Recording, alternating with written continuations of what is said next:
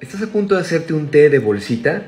Piénsalo dos veces. Cuando entran en contacto con agua caliente liberan micro y nanopartículas de plástico.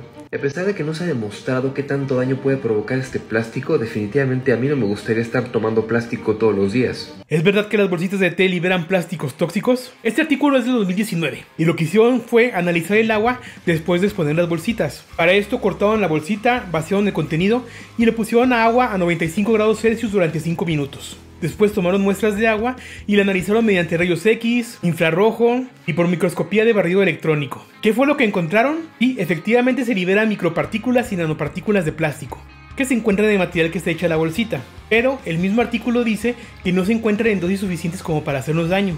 Pero hay otro pero y coincide con lo que menciona el doctor al principio, que es mejor no confiarnos y utilizar esa presentación solo de vez en cuando, porque faltan más estudios para saber si de veras no hace daño a largo plazo.